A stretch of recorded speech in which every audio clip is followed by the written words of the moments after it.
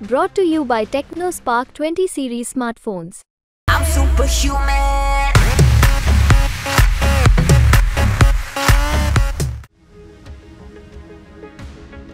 Israel पर Iran के हमले ने युद्ध जैसी स्थिति पैदा कर दी है दुनिया को डर है कि पहले से ही युद्ध झेल रहे मध्य पूर्व में युद्ध का एक नया मोर्चा न खुल जाए अमेरिका पूरी कोशिश में है कि ऐसी स्थिति न आए, लेकिन इजरायली वॉर कैबिनेट की बैठक ने स्पष्ट कर दिया है कि इसराइल जवाबी कार्रवाई करेगा।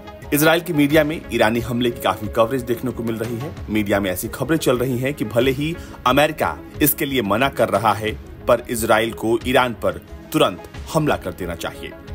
इसराइल के बड़े अखबार द जेरूसलम पोस्ट ने अपनी एक रिपोर्ट में इसराइल की सुरक्षा एजेंसी शिन बेट के पूर्व मुखिया याकोब पेरी के हवाले से लिखा कि इसराइल को ईरान पर हमला करना ही चाहिए। उनके हवाले से अखबार ने लिखा है कि मैं समझता हूँ कि प्रतिक्रिया देने के अलावा इसराइल के पास कोई और चारा नहीं है।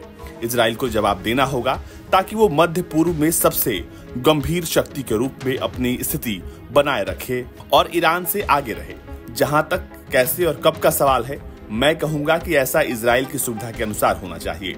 वो कहते हैं, जवाब कैसे दिया जाए? मैं उसमें नहीं जाना चाहता, लेकिन मुझे नहीं लगता कि ईरानी हमले के जवाब में हमें अपने सैनिकों की जान जोखिम में डालनी चाहिए।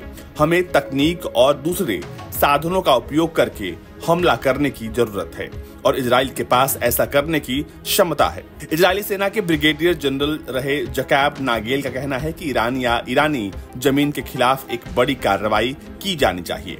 उन्होंने कहा कि इसराइल के डिफेंस सिस्टम ने ईरान के 90 प्रतिशत से अधिक हमले को नाकाम कर दिया, लेकिन इसका मतलब ये नहीं है कि इसराइल को ईरान पर हमला नहीं करना चाहिए। उन्होंने कहा कि हमें कम से कम तीन अलग अलग तरीकों से ईरानी धरती पर ईरान के खिलाफ कार्रवाई करनी चाहिए।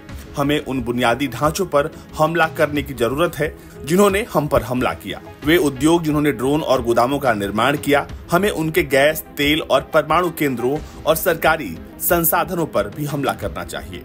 इसराइल के एक बड़े अखबार, टाइम्स ऑफ़ इसराइल ने अपनी रिपोर्ट में कहा है कि अमेरिका भले ही मना कर रहा है कि इसराइल ईरान पर जवाबी हमला न करे, लेकिन वॉर कैबिनेट की बैठक में ये तय हुआ है कि इसराइल ईरान पर जवाबी कार्रवाई करेगा। एक इजरायली अधिकारी ने बताया है कि उनके देश की तरफ़ से जवाबी हमला ज़रूर होगा, जबकि प्रधानमंत्री बेंजामिन नेतन्याहू के कार्यालय के एक सूत्र ने बताया है कि फ़िलहाल कोई फैसला नहीं लिया गया है। इजरायली सेना फ़िलहाल विकल्प तलाश रही है और ये बात तो साफ़ है कि इसराइल जवाब देगा। समाचार एजेंसी रॉयटर्स का हवाला देते हुए एक रिपोर्ट में लिखा गया है कि वॉर कैबिनेट ईरान के खिलाफ जवाबी हमला करना चाहती है, लेकिन उसके मेंबर्स में हमले की टाइमिंग और उसके पैमाने को लेकर सहमति नहीं बन पा रही है। इसराइल की नेशनल न्यूज़ अरुज शेवा ने अपनी रिपोर्ट में अमेरिका के पूर्व राष्ट्रपति सुरक्षा सलाहकार जॉन बोल्टन का बयान प्रकाशित किया है, जिसमें वो अमेरिका की जो बाइडेन प्रशासन को लताड़ रहे हैं। जॉन बोल्टन का कहना है कि अमेरिका इसराइल को ईरान पर हमले से रोकना शर्मनाक है। सीएनएन से इंटरव्यू में बोल्टन ने कहा कि बाइडेन अमेरिका के लिए एक शर्मिंदगी है। जब तक ईरान को जवाब नहीं मिलेगा, खतरा बना रहेगा।